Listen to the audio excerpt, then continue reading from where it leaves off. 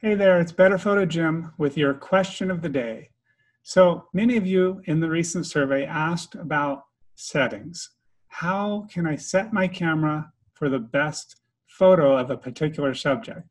And unfortunately, it really varies. The, the settings that you do to, to make a great photo are going to vary from scene to scene, from subject to subject.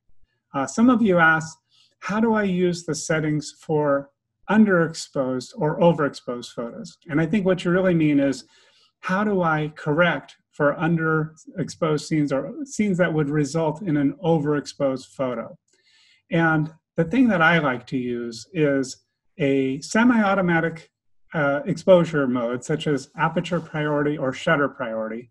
I use aperture priority almost all the time. And then if I'm encountering a scene where it's just turning out too bright or too dark, I use the exposure compensation. Those two are going to get you so far. So if you're not familiar with either of those, look for them on your camera right now.